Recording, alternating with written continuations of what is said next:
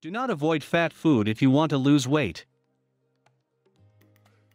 Would all of our weight loss problems be solved if we just eliminated fat from our diets? Unfortunately, it's not that simple. We actually need fats, and we can't live without them, in fact. Fats are an important part of a healthy diet, they provide essential fatty acids, keep our skin soft, deliver fat soluble vitamins, and are a great source of energizing fuel. But it's easy to get confused about good fats versus bad fats, how much fat we should eat, how to avoid artery clogging trans fats, and the role omega 3 fatty acids play in heart health. For years, fat was a four letter word. We were urged to banish it from our diets whenever possible. We switched to low fat foods. But the shift didn't make us healthier, probably because we cut back on healthy fats as well as harmful ones. You may wonder isn't fat bad for you?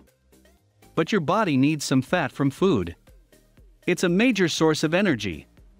It helps you absorb some vitamins and minerals. Fat is needed to build cell membranes, the vital exterior of each cell, and the sheaths surrounding nerves.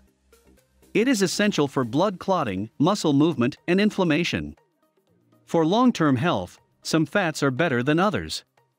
Good fats include monounsaturated and polyunsaturated fats. Bad ones include industrial made trans fats. Saturated fats fall somewhere in the middle. The foods you eat can have a major effect on your weight.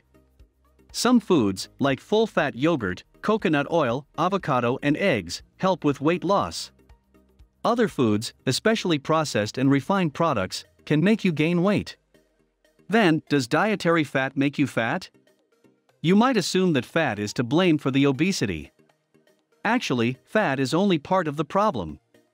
Obesity is much more complicated than just overeating a single nutrient. Eating more calories from fats, carbohydrates, protein, and alcohol than you burn off leads to weight gain. Simply, people who get little physical activity and eat a diet high in calories are going to gain weight. Dietary fat plays a significant role in obesity. Fat is calorie dense at 9 calories per gram, while carbs and protein have only 4 calories per gram, and alcohol has 7 calories per gram. It's easy to overeat fats because they lurk in so many foods we love French fries, processed foods, cakes, cookies, chocolate, ice cream, thick steaks, and cheese. Let's understand now the difference between good fats and bad fats. Basically, there are two groups of fats saturated and unsaturated. Within each group are several more types of fats. Let's start with the good guys the unsaturated fats, which include polyunsaturated fatty acids and monounsaturated fats. Both mono and polyunsaturated fats, when eaten in moderation and used to replace saturated or trans fats, can help lower cholesterol levels and reduce your risk of heart disease. Polyunsaturated fats, found mostly in vegetable oils, help lower both blood cholesterol levels and triglyceride levels, especially when you substitute them for saturated fats. One type of polyunsaturated fat is omega 3 fatty acids, whose potential heart health benefits have gotten a lot of attention. Omega 3 are found in fatty fish, salmon, trout, catfish, mackerel, as well as flaxseed and walnuts. It is best to get your omega 3 from food, not supplements. How fats fit into your healthy diet. Choosing the right types of dietary fats to consume is one of the most important factors in reducing the risk of developing heart disease.